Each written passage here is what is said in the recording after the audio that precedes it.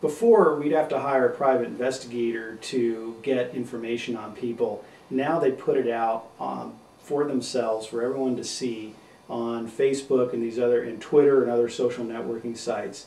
Um, that just people seem to lose their common sense when they get on the internet and forget that this is available for everyone to see.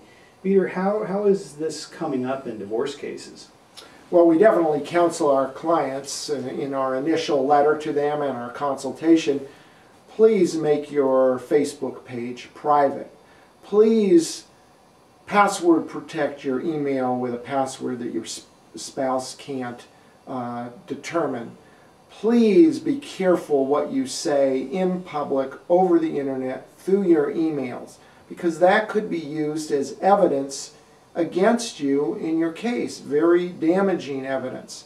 And realize that some of the items may be up from your, your college days where you were at a party and you did things you wouldn't want people to see. That is going to be Exhibit A in your custody case, in your divorce case.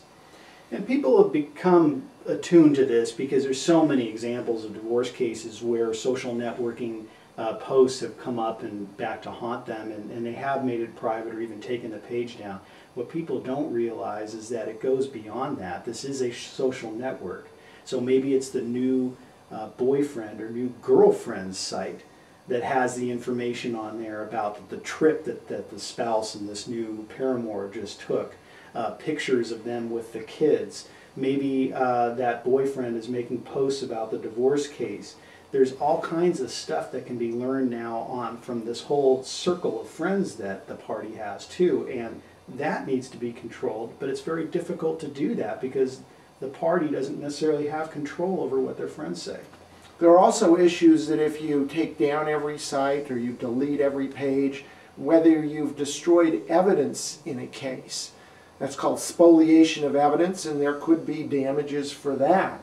So, how you handle these things, it's critical to talk to your lawyer about how to protect yourself from this damaging evidence and the destruction of perhaps damaging evidence. And there are ways of getting information even if it's taken down. Um, Facebook, we can't subpoena Facebook for information. There's a federal law that prohibits that. But what Facebook will do is restore all of the posts that have been on that person's site, and that person then can be court ordered to download that information and produce it. So this is uh, extremely powerful evidence that could be obtained um, if you know what you're looking for.